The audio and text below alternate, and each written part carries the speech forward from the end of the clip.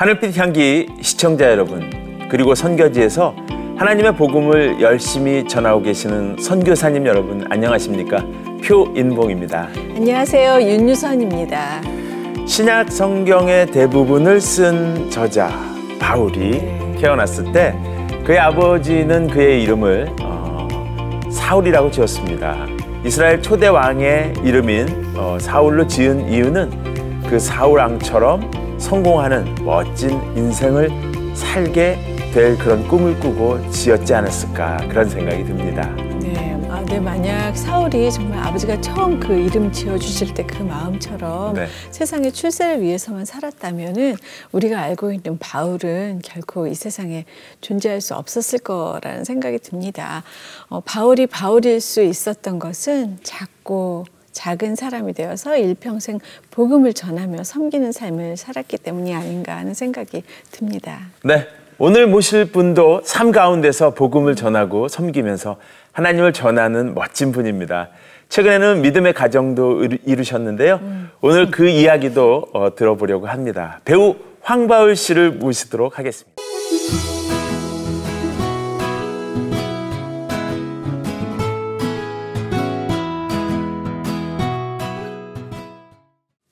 아, 나오셔서 감사합니다. 안녕하세요. 네, 반갑습니다. 아유, 스튜디오가 환해졌는데요. 네. 스튜디오 젊어졌어요. 네. 감사합니다. 직접 인사 좀 부탁드릴게요. 네. 아, 네, 안녕하세요. 반갑습니다. 저는 그 배우 황바울이라고 합니다. 네. 볼 때마다 느끼는 건데 시계가 거꾸로 가는 것 같아요. 아니 어쩜 저렇게 점점 젊어지고 점점 어려지는 것 같은지 아, 비결이 뭐예요? 거꾸로 가는지는 잘 모르겠고, 네. 제가 이제 어린이 거를 많이 하다 보니까, 네. 아이들과 함께 많이 소통을 하다 보니까, 아 직 철이 없어서 그런 건지 모르겠어요. 계속 어려지는 느낌은 있어요. 계속. 네, 네, 네. 그러게요. 보긴 저렇게 예, 여려 보이고 저래도 예, 지금 한 가정의 가장입니다, 그죠? 글쎄 말이에요. 예, 네. 믿겨지지가 않는데 우리 황바울 군이라고 해야 될지 황바울 씨라고 해야 될지 네. 예, 이름이 바울이에요. 네. 그러면 어, 본- 본명인 짐작하기를. 네. 본명이죠. 네. 네, 본명이에요. 예, 그러면 어 믿음의 가정이겠구나 이런 생각이 듭니다. 맞아요. 그, 제 증조 할아버지가 이제 목회를 하셔가지고, 평양에서 목회하셔서, 이제 4대째 제가 이제 믿음의 와. 집안으로 이렇게 지금 잘 믿고 있고요. 또 우리 할아버지, 증조 할아버지께서는 그때 이제 평양에서 좀 일들이 이렇게 우리나라에 있었을 때, 네. 이제 안 내려오시고, 이제 거기에 성도 네, 성도들 때문에 그냥 거기 계시고 이제 우리 할머니만 네, 내려오셨었어요. 증조 할머니만 내려오셔가지고 이제 저희는 남한에 있게 된 거죠. 그래서 이제 그때부터 계속 할머니 뭐 이제 아버지 엄마 이렇게 다 믿는데 저희 어머님도 사실 믿진 않으셨는데 네. 저희 할머니가 친할머니가 저희 엄마를 정말 친엄마처럼 품어주셔가지고 네 저희 어머님이 훨씬 더 깊어지셨죠 또. 네. 그래서 제가 그 엄마의 또 믿음을 받고 또태 속에서부터 쭉 이제 예, 이렇게 믿음을 지킨 것 같아요. 그러니까 뭐 제가 태어날 때 그 삼손 말씀 있잖아요. 나시린 말씀 네네. 네, 네. 주셨다고 하더라고요. 그래서 엄마가 아 아들이구나 네. 라는 것도 알았다고 하더라고요. 어. 네. 기도 드렸을 때 다른 유산보다 정말 부모님이 주신 가장 귀한 유산은 믿음의 유산인 것 같다고 네, 네. 정말 어머니 아버지 감사드린다고 맨날 그 얘기를 하거든요. 어. 그래서 지금도 사실 너무 감사하고요. 네. 네, 항상 삶이 이렇게 감사함이 넘치게 되는 것 같아요. 네. 아니 근데 그 물려받은 신앙이라 네. 그럴까요? 이렇게 그 하나님을 이제 그냥 가족 집안 분위기에서 다 아, 만났지만 네. 또 뭔가 반항하는 마음이나 어, 또 외면하고 뭐 그 시기나 그런 때가 전혀 없었나요? 아, 당연히 있었죠. 네, 반항하는 시기도 있었고요. 사실은 예수님과 저와의 인격적인 만남은 항상 필요한 것 같아요. 누구나 다 똑같은 것 같아요. 네, 근데 네, 네. 그게 진짜 주변에서 이제 목사님 아들들이 제 친구들이 되게 많았거든요. 어, 네. 그때 당시에. 그래서 중학교 때 막 학교에서는 뭐 사무엘도 있었고요. 모세도 있었고 저도 있었거든요. 근데 그들이 제일 문제였어요. 어, 그래서 네. 믿음의 삼형제 일어나봐 막 이러면 저희가 막 일어나서 맨날 혼나고 그랬었거든요. 그랬는데 어그 반항 시기도 사실 어느 부분은 제가 허락하신 것 같아요. 왜냐하면 그분을 더 깊이 알기 위해서는 저희가 진짜 계신가요? 라고 음. 물어보고 제가 대면해서 그분을 만나야 될 때가 필요한 것 같아요. 맞아요. 네, 네. 음. 그냥 부모님이 믿었으니까 믿어. 이거는 사실은 그냥 아, 무슨 전래동화처럼 네. 음. 아, 동화에서 나오는 거 아닌가라고 생각할 수 있는데 제가 정말 직접적으로 주님을 만난 기회가 또 따로 있었기 때문에 음. 네, 네. 어떻게 보면은 근데 감사한 건 그 기회가 더 빠르게 올 수 있게끔 환경이 조성됐던 것 같아요. 음, 네, 그래서 되게 감사했던 것 같아요. 네. 아니 아까 제가 나이 얘기할 때 선뜻 10대 네라고 못한 게 네. 이제 결혼을 하셨잖아요. 어른이 됐습니다. 아, 네. 그래서 어, 남의 남편 가- 한 집안의 가장인데 그렇게 말을 해도 되나 막 이런 고민을 아니. 잠깐 외모와 상관없이 했는데 네. 예쁜 신부를 얻으셨어요. 그 그러네요. 네. 정말 감사하죠. 네네 베이비북스 감미연 씨가 아내잖아요. 네. 어 어떻게 만났고 뭐 어떻게 지금 부부가 된 음. 게 실감이 나시는지 얘기해 주- 해주세요. 우선 부부가 된 걸 실감할 때는 자고 일어났을 때인 것 같아요. 어. 같이 이렇게 있을 때, 네네, 네. 그리고 같이 밥을 아침에 차려주거나, 저도 차려 차릴 때가 있는데 이렇게 같이 있으면은 혼자 있을 때랑은 확실히 다르게 어. 집이 따뜻해요. 그래서 그런 부분들이 아 내가 결혼하기 참 잘했구나라는 아. 생각을 좀 많이 했고 네네. 만나게 된 거는 제가 이제 공연 뮤지컬 공연 당신만이라는 공연을 하고 있었어요. 근데 네. 그 공연에서 같이 하는 이제 상대 배역 누나가 음. 이제 발칙한 로맨스라는 이제 뮤직 아, 네. 연극을 하고 있었는데 네. 거기서 이제 제 와이프랑 같이 공연을 하고 있었죠. 아, 그래서 제 그러니까 친한 누나 공연을 보러 와서 음. 이제 제 공연을 본 거예요. 그러더니 어 저 친구 참 누구냐. 그러니까 누나 입장에서는 그냥 저 친구랑 좀 친해졌으면 좋겠다 정도였던 거죠. 어, 운동 것도 귀엽고 뭐 이렇게 연기도 재밌게 잘하네 이렇게 얘기를 하니까 이 누나 이 누나가 되게 이제 오지랖이 좀 좋아요. 그래서 네. 어 그래 내가 연결해 줄까? 말해가지고 네. 막 연락처를 서로 주고받게 해준 거예요. 네. 그래서 둘이 막 이래저래 친한 누나 동생으로 한 2년 정도를 지냈어요. 음. 그러다가 이제 누나가 생일날 불러주시더라고요. 그래서 가가지고 만나가지고 뭐 이래저래 이야기했는데 약간 주변 분위기에서도 와 둘이 너무 잘 어울린다 이렇게 되면서 네, 네네. 막 바람을 잡았어요. 그렇죠. 그러면서 이제 제가 좀 자신감 있게 고백을 하게 됐죠. 아, 네, 예. 차이 아 물 좀 마셔야겠네요. 그래요. 아, 이제 뭐 지나간 일이어서 예. 예. 그때는 뭐 입이 바짝바짝 마르는 시간도 있었을 거고 그죠? 예, 예. 뭐 어, 예쁘네요. 음, 우물쭈물하는 시간도 있었겠지만 어쨌든 이렇게 해서 이제 가정을 이뤘는데 저는 이제 지내고 보니까 네. 어, 이제 방송하는 분들은 제일 많이 주목을 받을 때가 결혼할 때. 그쵸. 그쵸? 예. 또 한 시간이 있다 그러면 아이를 낳을 때. 음. 네. 많이 주목을 받고 예, 행복한 시간들을 보내는데 반대로 그런 시간이 있지만 질투하는 사람들도 많이 있어요. 음, 맞아요. 거기다가 이제 아내가 누구나 굉장히 다 아끼고 사랑했던 맞아요. 뭐 방송계에서는 여신이다 뭐 이런 표현도 써가면서 부르잖아요. 예. 네. 어떻습니까? 주변에 어, 질투? 음, 제 와이프랑 좀 만난 지가 한 3년 반 정도 저희가 이제 교제를 갖고 결혼을 하게 됐는데 네.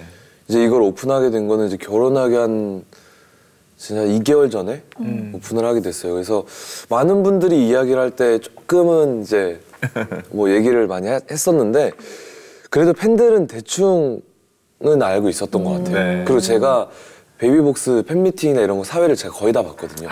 그러니까 안면들이 다들 있죠. 그래서 아 그래서 이렇게 만나서 이렇게 이랬구나. 이런- 이런 얘기들을 많이 했었던 것 같아요. 근데 그래서인지 팬분들이 되게 응원은 많이 해주셨고 오히려 이제 와이프가 제 덕분에 하나님을 믿게 되니까 이제 그거에 대해서 많은 분들 이제 약간 믿지 않은 분들이 왜 개종을 시켰냐. 뭐 그렇게 그러니까 기독교인들은 그래서 문제다라고 이제 많은 분들이 그리고 자극적인 기사들을 많이 썼어요 기자분들이 막 쓰셔가지고 그 개종한 거에 대해서요. 네 이제 뭐 예를 들어서 강압적으로 뭐 믿게 했다라는 식으로 이제 글을 이렇게 쓰셨죠 그래서 어, 원래 종교가 다른 종교가 있었어요. 원래 불교였었고요. 아. 그러니까 원래는 예전에 이제 부모님이, 예. 네 기독교를 다니다가 좀 상처를 받고 이제 부모님이 또 이제 불교를 좀 아, 믿으시다가 네네.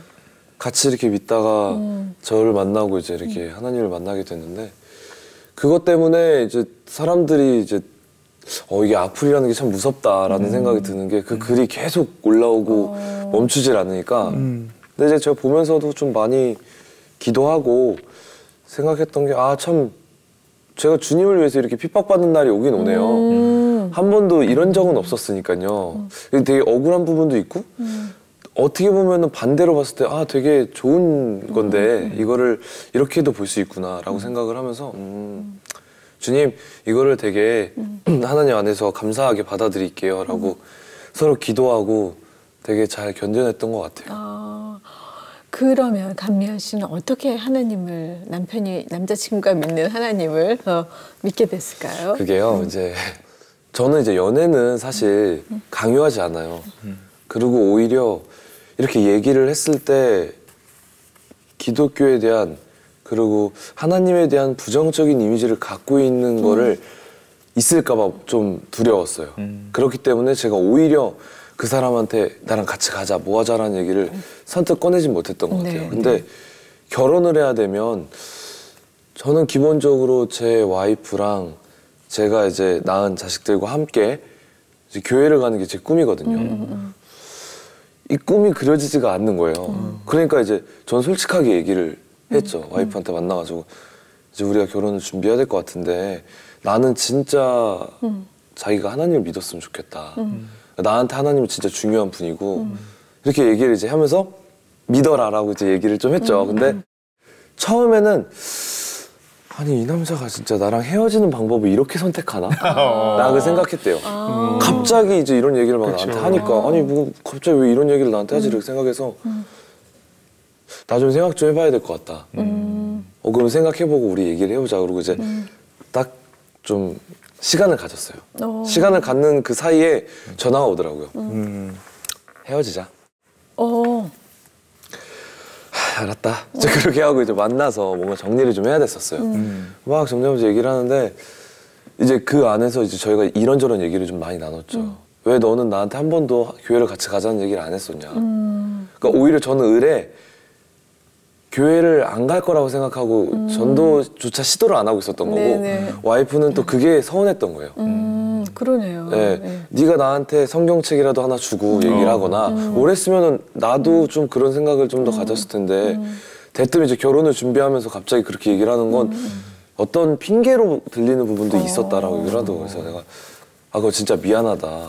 난 오히려 네가 그런 거에 대해서 좀 이렇게 반대적으로 마음이 불편하고 어려울까봐 말 꺼내는 게 좀 어려웠고 그것도 내가 나의 배려라고 생각을 했던 건데 그게 조금 너한테는 갑작스러울 수 있을 것 같다라고 얘기하면서 서로 이제 그런 얘기들 주고 받으면서 좀 풀렸어요. 어. 그리고 이제 장모님이 저희 둘의 어떤 냉랭한 기류를 보면서 너무 힘들어하시는 거예요. 어, 그래서 아 내가 좀좀 잘못한 것 같다는 생각이 확 들어서 그때 제가 그랬죠. 내가 진짜 자기한테 다른 것보다 하나님 믿는 거에 대해서 정말 진지하게 믿어주면 나도 자기를 위해서 최선을 다해서 정말 더 섬기도록 하겠다. 하고 했는데 와이프도 저를 많이 사랑해요. 그러니까 와이프도 당연히 이제 그렇게 하겠다고 하면서 하나님을 믿게 됐죠. 네. 그랬군요. 네, 네. 어, 그런 의미는 아니었군요. 보통 이제 여자들 보면 이렇게 하나님 얘기를 딱 그랬을 때 하나님이야 나야 뭐 이렇게 어, 뭐 예, 그런 건 아니었고 네. 오히려 이렇게 성경책이라도 주면서 했으면 더 좋았을 텐데라는 어떻게 속이 굉장히 깊네요 감미연 씨가. 네. 그 그런 얘기를 네. 사실 한창 한 적이 있었어요. 제가 X29이나 네. 이런데 이제 같이. 예 모임 같은데 제가 가잖아요. 그러면은 와이프 입장에서는 사실 계속 기독교 모임을 가니까 예. 자기랑 이제 좀 더 있었으면 좋겠는데 왜 자꾸 가는 거야 이런 얘기를 하죠. 그러다가 이제 그런 말을 물어본 적이 있었어요. 그래서 제가 그런 얘기를 했죠. 이 누군가가 이렇게 뭘 만들었어. 이렇게 어, 만들었는데 만든 사람한테 만든 사람이 좋아 내가 좋아라고 물어보는 게 조금 나는 이해가 어렵지 않냐. 그분은 사실 우리를 만든 분이기 때문에 그런 비교가 조금 불가능하다라고 얘기를 했죠. 근데 그게 모르겠어요. 지금 보면 네. 은혜가 있었던 것 같아요. 어, 와이프한테. 네, 와이프가 네. 완벽하게 이해를 하더라고요. 어. 아 그래? 그다음부터 지금은 진짜로 무슨 일 있으면 기도할 때마다 아버지 기도하면서 항상 하나님 아버지 이러면서 기도하는데 그 기도가 그렇게 예뻐요. 아, 네. 예. 얼마나 귀합니까? 예, 배우자를 위해서 기도하고, 맞아요. 예, 네. 전도에서 열매를 맺고 이제 가정을 꾸리니까 앞이 더욱 기대되는 음. 그런 시간들인데, 어, 두 분이 또 결혼 준비하시면서 어, 결혼 예비 학교, 네. 뭐 신혼 부부 부부 학교, 아. 예, 같이 수료했다 그러는데 어떤 학교고 어떤 시간이었어요? 예비 부부 학교 같은 경우는 이제 그 제가 지금 섬기고 있는 동순교회에서 네. 결혼 예식을 드리려면 네. 해야 되는 절차예요. 네, 그래서 네. 이제 처음에는 와이프가 조금 두려워하더라고요. 음. 어, 무슨 얘기를 듣는지 궁금해하고. 근데 갔는데 평신도 사역을 하시는 분들이 이제 저희를 만나가지고 이제 얘기를 해줘요. 음. 부부가 어떻게 살아야 되고 어. 아주 올바르게 교회 안에서 성교육이 일어나야 되는데 우리나라는 사람들이 몰래 혹은 되게 삐뚤어지게 성교육을 한다. 그렇기 때문에 부부 안에서 건전한 성교육이 필요하다. 해서 모든 것들을 다 되게 잘 얘기해 주셨어요. 그걸 듣고 와이프가 엄청 감명을 받은 거예요. 그리고 아 이래서 음, 남편을 아내가 어떻게 도와야 되는구나라는 걸 확실히 알게 되고 자기야 부부 학교도 하자라고 저한테 얘기를 하는 거예요. 너무 좋으니까.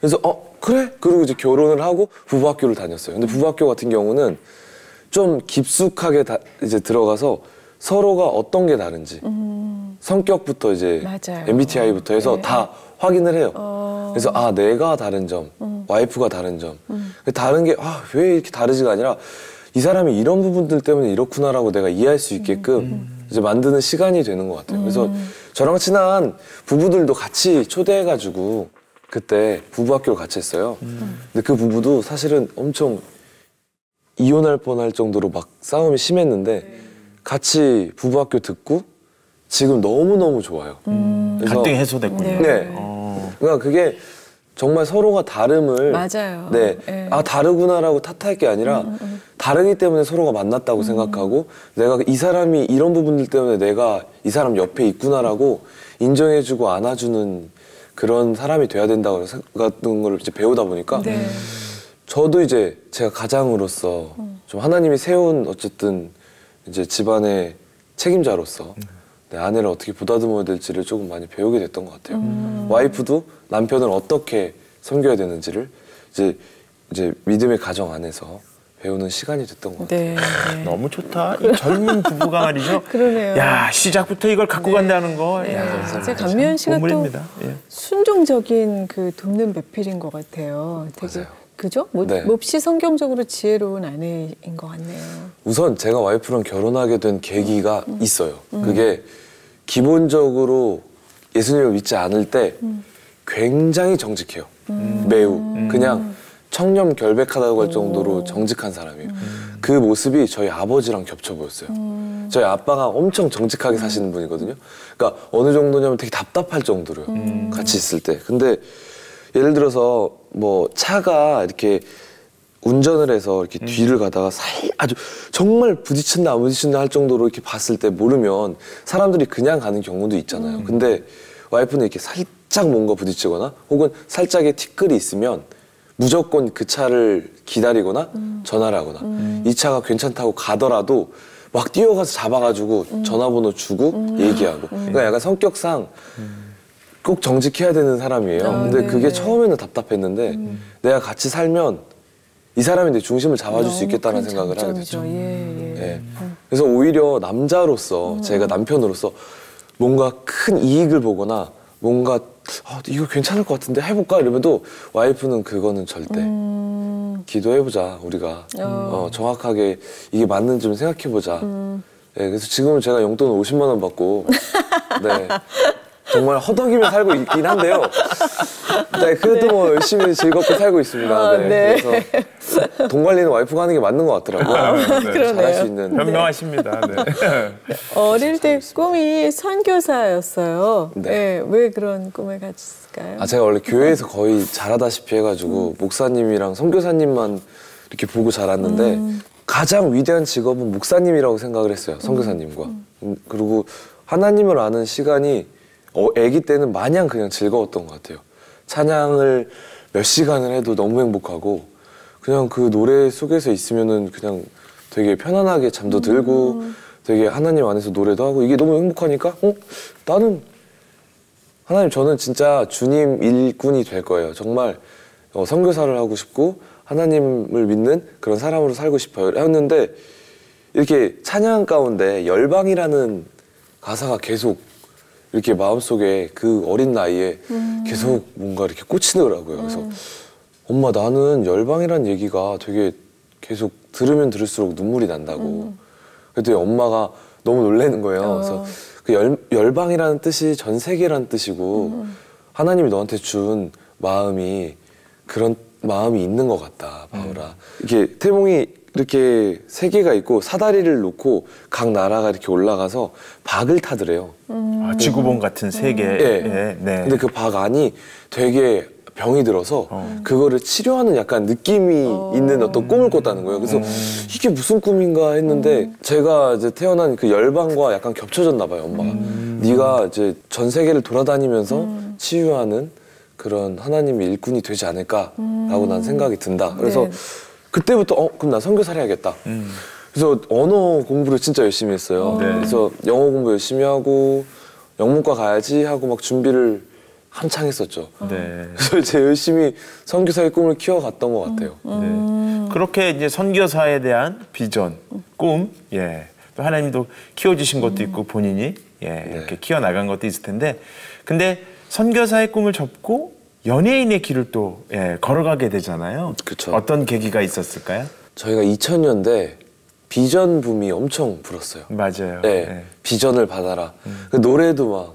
예. 그 비전이란 노래도 비전 노래 있었고 예, 비전 2000. 그때 제가 막 부흥회도 엄청 많이 다니면서 예배드리고 하면서 내가 구체적인 비전을 한번 받아야겠다. 그래서 이제 대학교 1학년 그때 한 이제 예배 다니고 막 교회 다니고 하면서도 하나님 저 어, 어느 나라로 갈까요?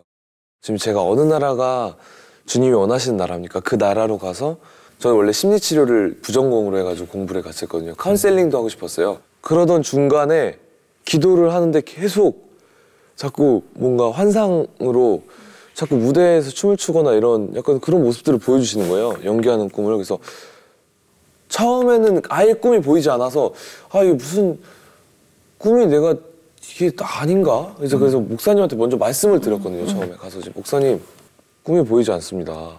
구체적인 비전이 보이질 않아요. 어떻게 해야 되나요? 그랬더니 이제 너가 아버지한테 용돈을 받기 전에 아버지부터 구해야 되는 게 맞다. 어.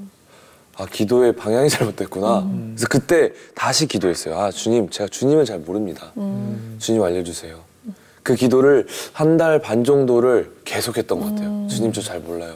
주님 알려주세요. 계속 앉을 때마다 그 기도를 했는데 그 기도하는 가운데 비- 구체적인 비전을 이쪽으로 보여주셨어요. 이렇게 문화 선교에 대한 비전을. 그래서 어 그때부터 말도 안 되게 그 이제 학장님이나 저희 이제 교수님들한테 저 휴학하겠습니다. 저 이제 여기 학교 그만두겠습니다. 왜 갑자기 그래? 그래서 저 연기하겠습니다. 진짜 제가 생각했을 때 그 학교 그때 학교에서 다 엄청 난리 났었어요. 네. 왜냐면 제가 학교에서 맡은 것도 있었고 뭐 신우회 이런 데서도 막 찬양 사역하고 막 같이 그랬거든요. 근데 그러다 갑자기 중간에 뭐 다 내려놓고 갑자기 막 연기를 한다고 하니까 그러지 말고 하다가 군대 갔다 오고 좀더 어, 생. 그래 해봐라. 학장님도 믿는 분이셨어요. 기도 확실히 해본 거냐고. 네, 저 진짜 했는데 확신이 들었다. 그랬더니 이제 거기서 휴학기에다가 써주시더라고요. 사랑하는 제자 누구 누구 바울이가 자기의 꿈을 위해서 가는데 이제 선생님 나는 그거를 막을 수 없고 어, 응원해주고 싶다고. 그래서 이 학교에 휴학을 허락합니다라고 적어주셨는데 정말 그 종이 한 장 들고 휴학기를 내고 아무것도 없이 시작을 한 거예요. 사실 여기 시작을요. 되게 막막했죠. 어떻게 시작을 했어요? 그냥 막 진짜 지금 말하는 이제 구인 구직하는 것 중에 거기 안에 이제 뭐 이제 영화 단편 영화 촬영하는 거 뭐 이제 공연 이런 거를 그냥 오디션 막 지원해 봤어요. 근데 이력서 만들어서 네, 막 만들었어요. 이제 도전하는 거죠. 네. 네. 근데 막 다 떨어지는 거예요. 왜 떨어지나 막 전화해보고 물어보니까 프로필 사진이랑 프로필이 필요하다는 거예요. 근데 네. 집에서도 난리 났거든요. 막 뒤집어지고 막너 지원 못 해준다.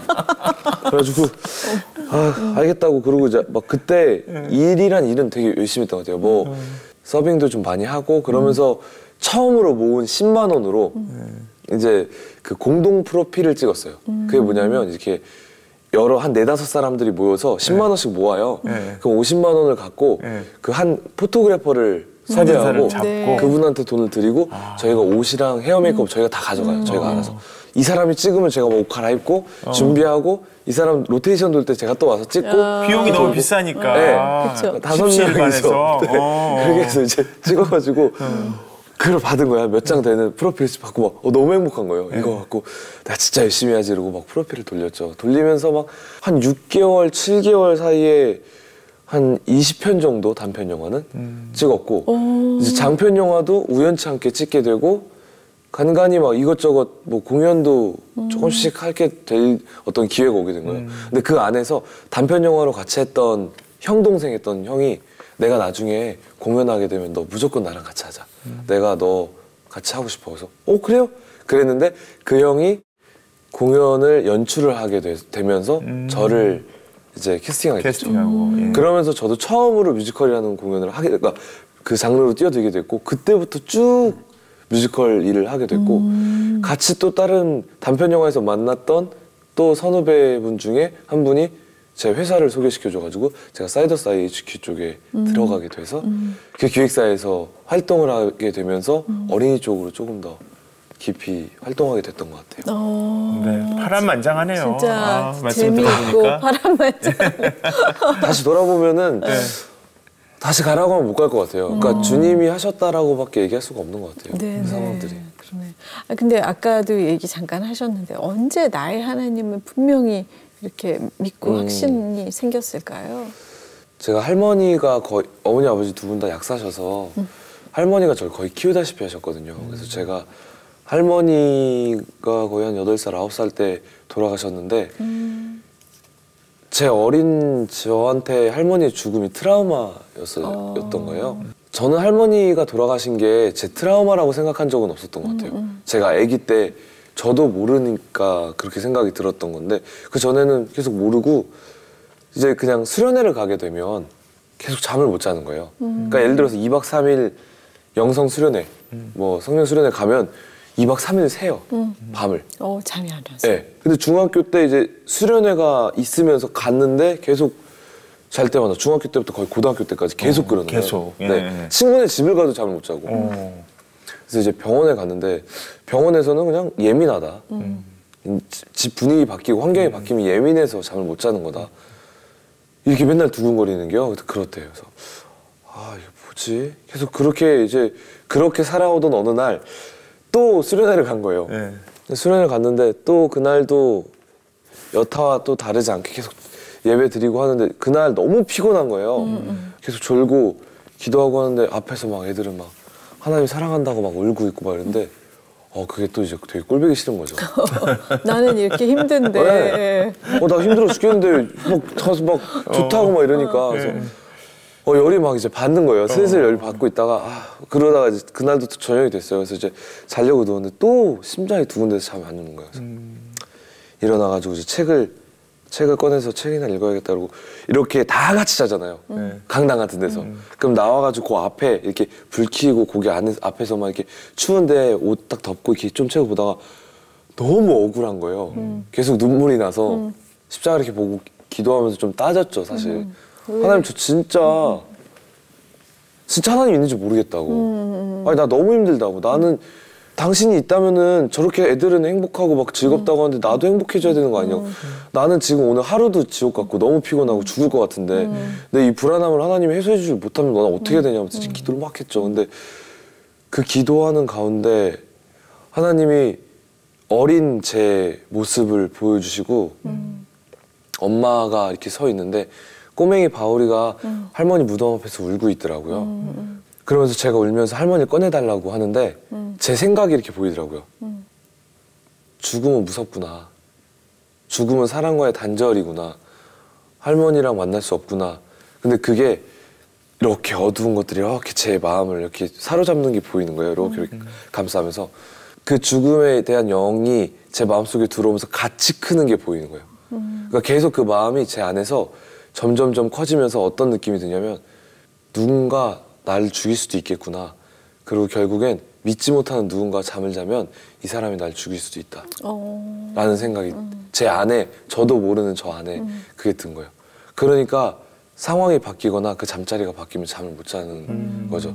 근데 주님이 그걸 정확하게 보여주시면서 저한테 두려워 말라 내가 너와 함께하니라는 말씀이 정말 이렇게 골수로 쪼개듯이 이렇게 쫙 들어왔구나. 들어왔어요. 근데 그게 들어오는 그 순간부터 잠은 네. 그냥 꿀잠 자기 시작했죠. 어, 어디에 가서나. 네. 그냥 기절을 하는데 어느 정도로 기절하냐면 제가 이제 KBS나 이런 쪽에서 아침 방송을 오랜 기간 했어요. 한 7년 정도, 6, 7년 정도를 계속 했어요. 네. 매번 다른 PD님과 함께 다른 외주와 함께 외주 작사와 함께 촬영을 다니면서 네. 마을회관에서 자고 어디서 자고 막 이렇게 자는 게 그게 가능했던 거는 저는 정말 이 기적이네요. 일밖에 없었어요. 네, 기적이죠. 네, 기적이네요. 얘기 들어보니까. 느끼는 게 아 주님은 네. 주님이 원하신다면 약한 자를 들어 쓰시고 할수 없는 걸 할 수 있는 분이라는 거를 저는 깊이 알게 됐죠. 아멘. 네. 네. 황바울 성도님의 인생의 그 가장 어려운 방황기의 한 장면을 영화로 만든다면 예, 네. 어떤 씬을 어떤 장면을 소개해 주시겠어요? 실제 있었던 장면 중에서.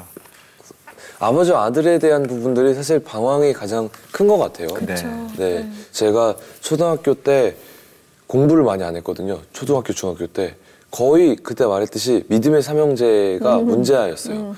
저도 중학교 2학년, 거의 1, 2학년 때까지는 공부도 싫었고, 그리고 아버지가 좀 그때 당시에는 되게 폭력적이셨어요. 그러니까 어떤 부분에 있어서 굉장히 가정적이었지만 아버지도 상처가 있었던 거죠. 근데 그 전에는 모르니까요, 저는. 근데 아버지는 저를 붙잡아 놓고서 공부를 가르치시고 싶은 거예요. 앉혀놓고서 맨날 가르치고 모르면 맨날 때리시는 거예요. 그래서 내가 이제 그 딱 사춘기 나이 때 그렇게 그런 상황이 오니까 너무 반항이 심한 거죠, 반항기가. 그러니까 하나님과의 관계가 깊어지면서 아버지에 대한 기도를 시키시는데 아 하나님 다 좋은데 아빠 기도 안 했으면 좋겠어요. 아빠에 대한 건 건드리지 말았으면 좋겠어요. 그러던 어느 날 갑자기 아버지가 저희 아버지가 집안에서는 교회를 갔다 안 갔다 저희 아버지 약간 공부를 해보고 과학을 깊이 공부해보면 이거 우연일 수가 없다. 이건 굉장히 과학적이다. 신은 있다. 이거 분명히 신이 있는데 신이 인간의 몸을 입고 우리를 위해서 또 이건 말이 안 된다. 예수님은 말이 안 된다는 거예요. 그래서 약간 유대교 같은 느낌이신 네. 거죠. 그래서 아 그런가 보다. 이제 그러고 있는데 갑자기 어느 날 바울아 나 네가 다니는 교회 한번 가보자. 어. 왜? 그리고 이제 가는데 되게 불편한 거예요. 평소에 아빠랑 같이 안 가고 맨날 아빠는 뭐 교회 가는 게 탐탁지 않으셨는데 그래서 같이 가서 꼭 그럴 때 목사님 말씀 관계 회복 바로 말씀 끝나고 옆에 있는 사람을 위해서 손잡고 서로 축복하는 기도를 하라고 하는데 아 이런. 잡아야 되나 말아야 되나를 네. 한 100만 번 고민했던 거예요. 그 짧은 순간에 네, 네. 아니 아빠 축복합니다 이렇게 하고 딱 모르겠다 하고 기- 딱 잡고 기도했는데 눈물이 엄청 나는 거예요. 아. 그래서 제가 진짜 좀 펑펑 울면서 기도하고 쪽팔려서 바로 일어나서 나왔어요. 예배 다 끝나지도 않았는데 그리고 막 짐을 바리바리 싸가지고 친구네 집으로 가출했죠. 어, 가출을 했어요. 네. 어. 그래서 나와가지고 오늘 안 들어갈 거야. 아 내가 왜 그랬지 말면서 계속 집에서 있는데 아빠한테 전화가 오는 거예요. 전화 받았죠. 네. 갑자기 대뜸 네. 아빠가 아빠의 옛날 얘기를 해주시더라고요. 어, 전화기에다 대고. 네. 예. 바울아 내가 어렸을 때 저희 아버지가 되게 굉장히 잘 사셨어요 집안이 부유했고 저희 친할아버지가 집안에 이제 친척들이 오면 한두 달 동안 머물고 가도 될 정도로 집안에서 계속 많이 베푸셨던 분인데 친할아버지가 빨리 돌아가시고 아빠는 집안이 이제 친한 사람들한테 다 뺏기고 다 쫓겨나다시피 하면서 친척들한테 도와달라고 했을 때 다 문전박대를 당하시고 정말 치- 이렇게 사무치게 정말 아픔이 강한 분이셔서 사람에 대한 증오도 강하고 어떤 아픔이 있었는데 그게 순간 너를 가르치거나 뭘 했을 때 내가 너한테 폭력으로 나아갔던 것 같다는 거예요. 근데 네가 날 위해서 기도해 줬을 때 우리가 서로 보이지 않는 벽이 허물어진 것 같았고 나는 그게 너무 감사하고 좋았다는 거예요. 어, 아버지가 저한테 이제 사랑한다고 이제 얘기를 하시는데 모르겠어요. 그, 그 전에 있던 전 과정이 그 말 한마디로 어. 다 지워지더라고요. 네, 네. 그래서 아버지는 저한테 있어서 누구보다도 저를 저의 꿈을 믿어주는 조력자고 조력자시고 계속 믿어주셨고 얼마 전에 아버지가 소천을 하셔서 오, 일찍. 네 아가 그쵸 지금 뭐두 달도 안 된 것 같은데. 네. 네. 어, 아직은 좀 마음이 많이 좀 네. 그래도 관계를 회복하고, 예.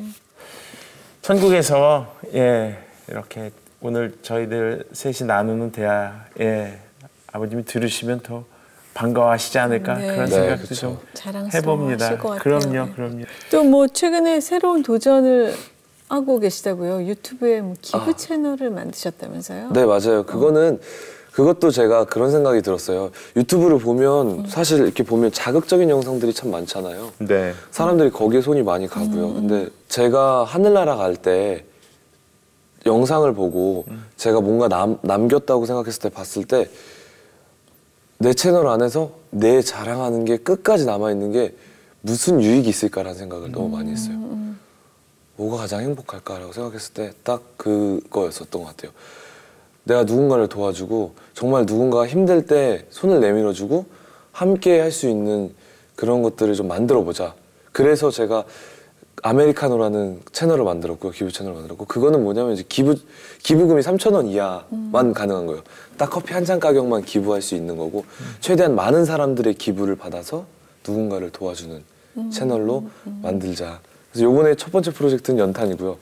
뭐 조금씩 조금씩 기부금이 많이 모이거나 적게 모이는 대로 뭐 정말 힘든 부분들, 정말 소외계층이나 어. 아- 아픈 부분들을 네. 최대한 직접적으로 그 돈이 다른 데 새어나가지 않도록 도와주는 걸로 하려고 지금 네. 하고 있습니다. 네. 네. 아, 멋진 계획입니다. 그러네요. 네. 네.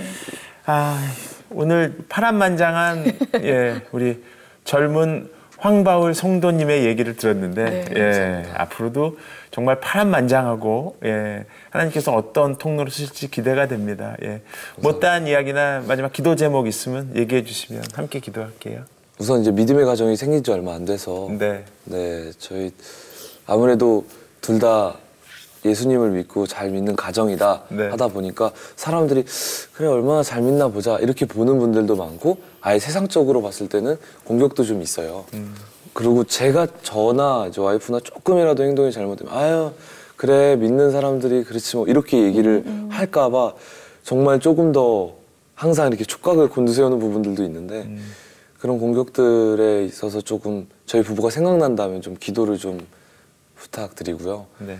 그리고 아까 말했듯이 아버지 소천했는데 저 저보다는 저희 혼자 계시는 엄마, 네, 저를 이제 가정을 보내고 네, 이제 네. 혼자 계시는 우리 어머님이 많이 마음이 마음의 위로가 좀 필요하세요. 그래서 네. 좀 저희 어머니 기도도 좀 필요할 것 같고요. 네. 그리고 마지막으로 아까 말했듯이 이런 선한 영향력을 끼치는 채널이나 네, 어떤 프로그램이 만들어지거나 이럴 때 거기에 대해서도 정말 많은 분들이 좀 도와주시고 기도를 좀 해주셨으면 하는 부분이 있습니다. 네. 오늘 이렇게 나오셔가지고 행복한 기운을 마음껏 전해주셔서 감사드립니다. 아, 제가 네. 감사합니다. 예. 고맙습니다. 감사합니다. 네. 오늘은 국가적으로 봤을 때 결혼 장려 방송이지 않았나 이런 개인적인 생각을 해보는데요.